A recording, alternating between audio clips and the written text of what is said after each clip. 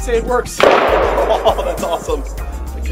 Got an action target on the fire dueling tree over there that I'm testing out for the first day here. I'm gonna give it a try. From about 10 yards.